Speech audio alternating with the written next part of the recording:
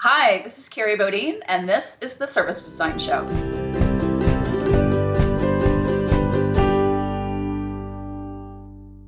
Hi, I'm Marc Fonteijn. Welcome to your two weekly bursts of service design inspiration, where you get to learn what some of the world's best service designers are currently doing. We talk about the current state of the industry, exciting new developments, and the challenges that are up ahead. With the Service Design Show, we'll help you to become a better service designer so you can make a bigger impact on the world around us.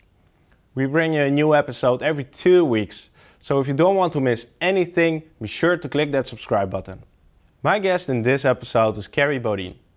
Kerry is the co-author of a book called Outside In, The Power of Putting Customers at the Center of Your Business. And Kerry runs her own consulting firm called Kerry Bodine and Company. For the next 30 minutes or so, we'll be talking about topics like do we even need to create maps? The journey as a key principle for customer experience, and finally, organizing around the journey. If you want to fast forward to one of these topics, check out the episode guide down below in the description or just stick around and enjoy the whole episode. So let's jump right in. Welcome to the show, Kerry. Thank you. Kerry, I'm uh, really curious. A lot of people probably already know you, but um, do they know the story that you, when you came in touch with service design, have you shared that story ever? When, when was the first time you actually got in touch with service design? Yeah, actually, I was getting my master's degree at Carnegie Mellon, and Shelley Evenson was a visiting professor there, and she was teaching a service design class. So that was my first introduction to it. And then um, one of our guest professors was also Marc Rettig, and he showed me the very first journey map that I ever saw. Really? And um, I think it was actually one that Shelley had created. Hmm. um, but yeah, so that was my introduction um, back 2002 to 2004 ish. Uh, Shelley has yeah. been mentioned a lot on the show as a sort of starting ground for a lot of service designers, service designers related uh, people. For sure. Yeah. For sure. Yeah. Um, Kerry, so uh, the format of the show is really easy. You gave me three topics that you that are on, on top of your mind right now, and I gave you some question starters, and we'll combine these two and co-create the topics we'll be talking about for the next 30 minutes, right? Sounds great. Are you Yeah. ready? I'm ready to go. All right. So let me uh, let me uh, pick the first topic, and um, it's it's a really short one, but I guess you can make anything you want out of it. It's called create maps. What is a question starter that goes along with this one? So my question starter is what if? And it's actually what if we didn't create maps? Which kind of maps are we talking about? Uh, specifically journey maps. so um, when I think about the field of service design, and and you know, people ask me sometimes to define what service design is, and you know, it's such a it's such a loosey goosey um, uh, term that has so many definitions, um, and I and it's hard to just say, well, it's or it's hard not to say it's just the design of services. Yeah. Um, the way that I like to define service design is that it's the the design or definition of journeys hmm. and then the underlying ecosystems that are required to support and deliver on those journeys. So the, the journey is really a key part of the discipline of service design for you. It is, yeah, because you know you can be a product designer or um, you know uh, a web designer or you know whatever it is, and you can work on a particular thing or particular touch point. But for me, the thing that really makes a service is that it's this connection of various touch points over time, and that's exactly what the journey is, right? Exactly. Yeah. Um, so, so it's interesting that for me, this definition, or uh, you know, my definition of, of service design around the journey and then the ecosystem, it really has a, a analogous um, uh, connection to two artifacts that have become very widely known um, throughout the service design world and then beyond, which is the journey map and then the service blueprint Mm-hmm.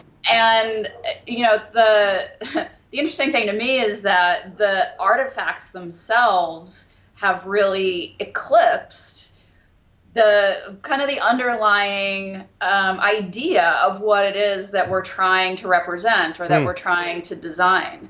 Um, and so, so yeah. So my question is, what if we actually didn't create these maps? What if we um, thought about the journey, but but kind of let go of creating these very precious artifacts? Um, I saw that uh, uh, Damian uh, Kernahan uh, from uh, Proto Partners yeah. in Sydney was on your show, and he was mentioning how we were talking about um, you know, the, these artifacts have become these like bright, shiny objects for a lot of organizations, and they feel really great about themselves if they just create a map. Um, but that's really missing the point. It's like the the artifacts came out of a philosophy about the way that we need to be thinking about designing for people. Hmm. Um, and so, so for me, it's about letting go of that. That that's um, that, that, this has been a topic for in in a lot of episodes. The, the shiny map. Uh, the, the, first episode with Marc Stickdorn was. The, I think the customer journey shouldn't be a deliverable uh, with some added words in there. Um, yeah. But if we let go of the artifact, um, it isn't that's a that's a San Francisco train in the background, right? It is, yeah. so if we let go of the map, um, don't we lose something that's that's really useful in actually uh, um, explaining what we do and showing what we do, or is there something that that's even better? Sure. So I, I mean, I do think maps can be valuable for exactly that reason. Um, I look at them as visual storytelling tools, which you know, for me, the just thinking about who we are as um, humans that have evolved over time, we have evolved to um, be visual, and you know, we can recognize and understand visual information um, much more easily, much more quickly than we can, you know, a, a long text that we actually have to like sift through and digest. Um, and we are also natural born storytellers, right? This is how we've passed down our human culture for you know thousands and thousands of years. And so for me, the the journey map itself as an artifact is a really great visual storytelling tool, and it can be very powerful um, if you think about it that way. but I don't think a lot of people are are embarking on the creation of a journey map um, thinking about a specific story they're trying to tell and thinking about how to best visualize it in order to really punch people in the gut um, with you know the the conflict and and all of that um, you know that you know the the parts of a, a, story that you know we're all familiar with from you know watching movies or, or reading books or whatever it is. So you know I, I do think that they can be valuable for, from that perspective but um, you know there's there's also just so much additional work that goes before mm, right. the storytelling part of it. So I was actually talking with someone um, from a regional bank um, earlier this week and um, uh, doing research on um, journey maps right now. And um, she told me when we got on the phone, she was like, well, I, I think you're going to be really disappointed because we actually haven't created any maps um, themselves. And I said, Oh, you know, tell me what you're doing. And she had attended a workshop it's like a three hour intro to journey mapping workshop that I had done a couple of years ago at um, a, a, CX conference. And, um, you know, just, you know, putting sticky notes up on the wall and, you know, learning the, the true, just kind of basic um, uh, you know actions and and you know what you have to go through. And she took that home and back to her organization and that's what she's been doing. They put up you know a big sheet of paper on the wall. They get people from multiple parts of the organization frontline folks people from their branches people from operations and they get them together and they talk about the journey and what's hmm. going wrong from the customer perspective. And from my perspective that's what's important right? I mean it, it gives them a framework to talk about things that they didn't have before. And she was telling me how, um, you know, there was just a lot of finger pointing beforehand. Uh, you know, people in the branch saying, well, this is what ops is doing wrong, and ops saying this is what people in the branch are doing wrong. But when they come together and they're like, okay, we're going to look at this from the perspective of the customer's experience, that that kind of end-to-end journey, um, that finger pointing goes away, and they all just kind of self-organize around this common goal. Um, so I, I, love that, and they've had, um, you know, they've been able to identify um, a bunch of initiatives that don't cost a lot of money, that are making significant improvements to the customer experience, um, but they haven't created any maps at mm. all. It's just been sticky notes. Um, you know, on the wall of a conference room and getting people mm. together from across the organization to, to talk and identify issues. So uh, it's like um, the, the time we invest in creating uh, customer journey maps that look really good. We, um, maybe it would be smarter to actually treat maps as prototypes, so making them sketchy, rough, and uh, actually throwing them away after uh, after a session, something like that. Not getting attached. yeah, I like that. We actually just released a uh, PowerPoint journey map template on our website, and um, part of the reason why we wanted to put a PowerPoint template out there is because we didn't want people to get too attached to it, right? It's like you can we, create. We need, we need a Snapchat for customer journeys. Like this journey only exists 10 seconds. I love it. I love it. But yeah, you know, we have a million PowerPoint templates and uh, you know, and PowerPoint presentations, and people can create them pretty quick and pretty easily. Um, you know, making something that's like beautiful in Illustrator, it's like okay yeah, if, if, maybe there are some instances where that's warranted, um, depending on who your audience is for the story that you're trying to yeah. tell and all that. Yeah. But yeah, it does make it seem like this is this is a an artifact for all time. So so to conclude this first topic, what you're basically saying is think about the journey, forget about the map. Yes. Something like that. I love it. I couldn't have said it better myself. Kerry, let's move on to your to your second topic and. Um, our second topic is called Key Principle for Customer Experience. So I would say, what if? What if?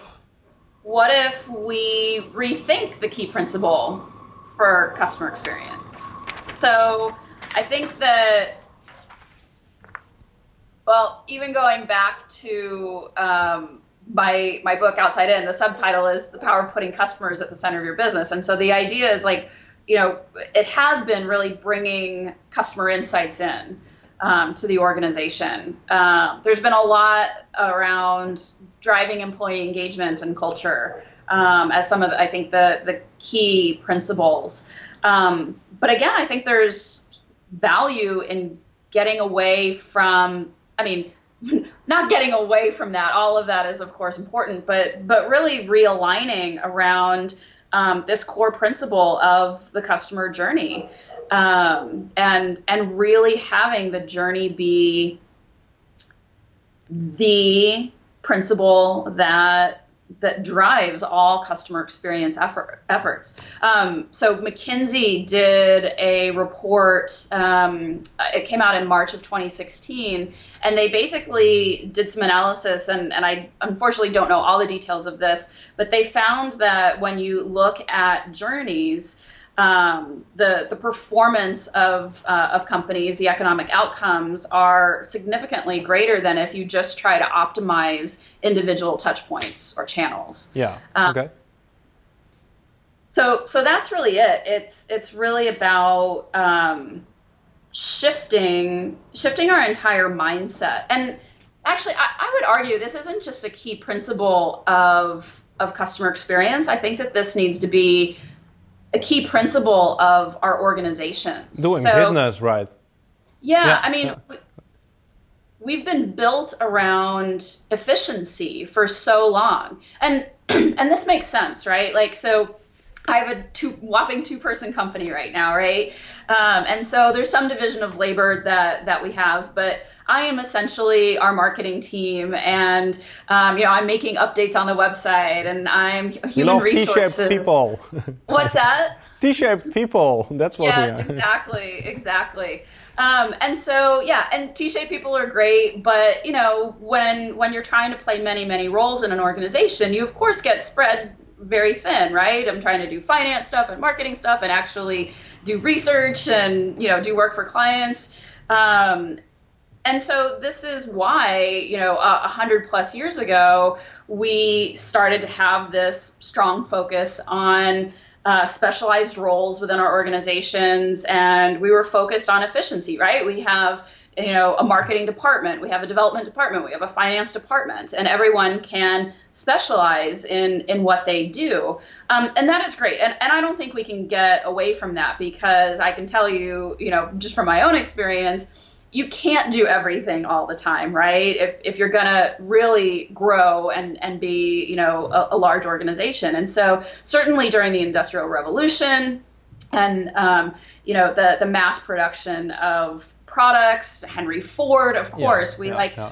really created a, a, science around all of this. Um, but this efficiency is is one point of view, right? It, it is um, you know the the organizing principle that we have had, not just in customer experience, um, but certainly there as well, but but within our entire organizations. And I, I think it's really important for us to look that in the face and recognize the parts of that that are beneficial for our organizations. It doesn't make sense to have a finance person also be developing your website, um, but we also have to realize that it is a point of view, that it isn't the way that um, organizations have to exist, and that we have to take the good parts of that, but supplement them with other ways of organizing ourselves and our work in order to truly deliver on this promise of of customer experience and the customer journey being,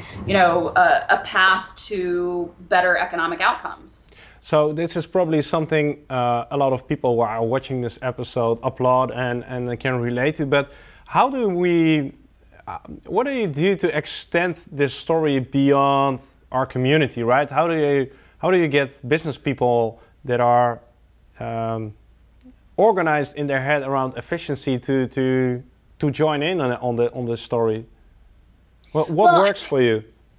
Yeah, I think that um, I think that part of it has been what we've all been preaching within the service design community and the greater customer experience community and the and the larger business world, really understanding customers, right? And so that's why you know we we don't want to. I don't want to move away from that, right? This is you know just a, a full um, you know turn to something very specific, but I, but I think it's um, and and in the opposite direction. But I think it's um, it, it's just a greater awareness that um, you know the the market is changing, consumers have greater power, and we need to understand our, our customers better. I think that's really the first step. We can then introduce this concept of the journey as um, as a way to connect our silos. Mm-hmm. But I think hmm. it's first understanding, you know, just how much customers have changed and how much we really need to understand it. Mm-hmm. So understand customers. What is your um, what is the question you have around this topic of the key principle? What challenges you when you think about this topic? Well, what challenges me is really, I think, the um, again, multiple hundreds of years of history that have been ingrained in the way that that we all work. I mean, if you ask anyone about the silos within their organization and um, you know how well they communicate across silos, you know, every organization has challenges. Um, you know, anytime you get even just a handful of people, um, you know, in an organization, startups certainly um, struggle with this all the time. You know, everything's fine when there's two or three people, but all of a sudden there's 10 people and, you know, the communication starts to break down because not everyone is involved in every single decision. Um, and so, so for me, it's just this, this history that is ingrained in us and, um, you know, our inertia. We, we, we, we recognize that the silos are a problem um, but it's this inertia for getting away um, from that. Hmm. Hmm. Yeah, that's the challenge. maybe that's a nice uh, step up for the, the, the third topic. Um, so let, us see how, uh, how this works out. And the third topic is called, uh, yeah, organize around. that's Dutch for around. Organizing around the journey. Yes. So maybe my question is how far should we go to organize around the customer journey? Um, I don't know if I reused any of those questions or not, but that's, that's what that's I'm okay. using. Um, so, yeah, I I think that this really needs to be something that we make tangible in our organizations, not not just an idea, right? Oh, the journey is a nice concept, right? I mean, the journey is floating out there on multiple levels, right? On the one hand, it's the artifact. On the other hand, it's this kind of nebulous concept. And I think that we we do need to make the journey tangible, um, but we need to make it tangible in the way that we work together every single day. And so I do believe that we need to start bridging the silos in our organizations with people whose job it is is to look after the customer journey and really own that customer journey. So, you know, we've had product managers in our organizations for decades. Um, and, you know, this is a, a very common role now um, both in you know huge, massive legacy organizations and in startups.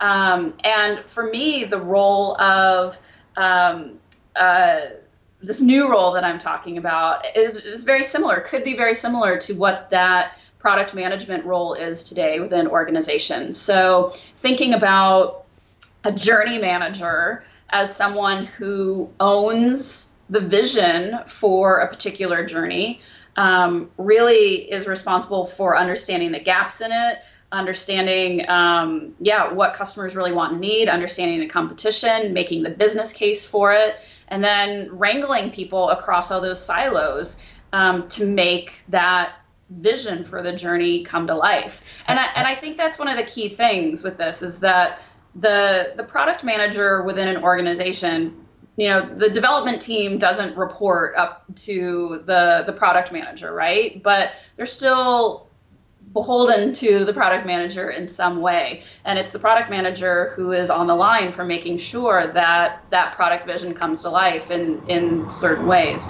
and meets business goals in yeah. in some ways as well um, and that's really that's really what I see happening, um, and I have seen it in a few organizations. There's a um, utility company here in the U.S. that has actually um, created this journey manager role, and it's actually um, directors and VPs, and they look at every part of the customer life cycle and broken it into journeys, and then it it's kind of the new matrix. Um, you know, mm-hmm, we mm-hmm. I think we created matrix organizations because we realized um, that we were stuck in our silos and people needed to have multiple reporting roles. And there's a whole mess of problems, of course, with matrix reporting structures. Um, but this is kind of similar because you can think about, you know, the journeys kind of cutting across our, our vertical silos or channels or functional areas of expertise, which again, we've created because we need that level of efficiency within our organizations, but we need to bridge them with these roles that are looking across. So, uh, the question that was in my mind is: Do you, have you seen this implemented in a good way? And you talked about the utility company. Do you know any other examples, and what what did they do to actually make this a success? Well, I think it's I think it's um, a, a, nascent practice for sure. Um, and so I don't have a lot of great examples. Um, but from here in Silicon Valley, I mean, this is the way that a lot of tech companies have been organizing themselves for years. So um, when I think about eBay, years and years ago, they had their design teams divided by um, buying and selling. There was a buying journey on their site, and there was a selling journey on their site. Um, and they had design teams focused on those two things. Um, over at Uber, um, they've got teams that are devoted to driver journeys and teams that are devoted to rider journeys, and then mm-hmm. even very mm-hmm. specific mm-hmm. journeys within within um, you know those two kind of Uber categories. um, but um, so so I think that actually the the field of design is uh, a good leader um, and uh, you know a place that we can we can look to for this because they've started to organize that way anyway. I'm, I'm really curious. This was a topic on the show, for instance, with uh, Andy Polaine, where we talked about the journeys are fractal.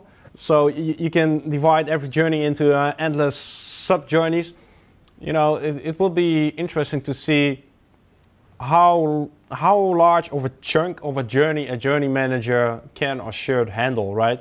Because if yeah. you narrow it down to a yeah yeah to a single touch point, that that will be interesting to see. Yeah, you know, I often get that question a lot um, from clients. Is like, how big of a journey should we should we you know bite off? And it's like, well, I mean on the one hand, you can look at the entire journey of you know your customer becoming a becoming a customer and then leaving you, you know, eventually. But you're not going to be able to get to a good level of detail with with that type of journey to actually start making decisions and um, understanding what to implement and and what to change. Um, on the other hand, um, I've worked with a company that journey mapped out with their customers um, the whole process of signing up for an account and resetting your password. Mm-hmm. Um, and mm-hmm. so, you know, at first blush, that was a pretty, um, a pretty fractalized, if that's a word, a pretty fractalized journey. Um, but it was actually quite complicated and um, took a lot longer than I thought it did and crossed more channels than I thought it would. Um, but I think for this, I think for this journey manager role or journey owner role, I think looking at um, just some of the key parts of the customer life cycle is a good place to start. Maybe breaking the customer life cycle into four, five, six, seven chunks and starting there. Mm-hmm. Um, you know, but but of course it's going to vary for every organization. Yeah, yeah, yeah. It will be interesting to see if we find some sort of a sweet spot and, and in which situations. Yeah. Kerry, um, to round off uh, uh, the show, I always ask people, and you do a lot of public speaking, so you get approached probably by a lot of people. And when people ask you, Kerry, could you give me um, an advice or, well, let me frame it differently. Kerry, if they ask you, Kerry, what is the topic that keeps you awake at this moment? Uh, what are your what is your biggest question, and what is the question that you might want to share with the audience? Hmm. So, um, yeah, my biggest question right now is um, really about the future kind of macroeconomic state of the world and um, how things are going to change potentially um, because of recent political um, changes, especially here in the U.S., um, but how you know that ripples across the world. And um, you know, it's interesting when when companies go through a hard economic time, and I'm not saying they're going to, but you know, there's a lot of uncertainty in the world right now. Um, you know, companies kind of tend to have two different approaches to customer experience. One is um, it's the first thing to get cut because it's seen as fluffy and you know not a you know core part of the operations of the organization. Or they double down and they say you know what? We need to make sure that of everyone out there we are providing the best customer experience so that we can get whatever dollars are available. Um, but for me um, uncertain economic times bring a lot of uncertainty to um, the customer experience world mm. and the design world in general. So that I think is probably the biggest thing keeping me up at night. Um, I think if there's a question for the viewers that I have, it's you know how are you making your role and the role of service design and customer experience essential to your organization so that um, you know, if if we do go down um, a, a, bad path uh, uh, from a global economic scale, that you'll be ready to help your organization push through that successfully. Awesome. Really curious, and uh, share the comments uh, in, in, in the comments section. Really curious. Big question though. Um, I think that surprised you a little bit. it's good to have holistic, uh, holistic topics on on the show. Kerry, I really want to thank you for your time and sharing, um, yeah, the things that you are thinking about and working on. Uh, it, it was my pleasure. Thank you. My pleasure too. What are your thoughts about the topics we've just discussed with Kerry? Let us know down below in the comments. The Service Design Show is all about helping you to become a better service designer by sharing real life stories of people that are currently shaping the field. If this is your first time here and you'd like to see more interviews, be sure to check out some of the past episodes and if you haven't done it already, click that subscribe button. For now, thanks for watching and I'll see you in two weeks time for a new episode.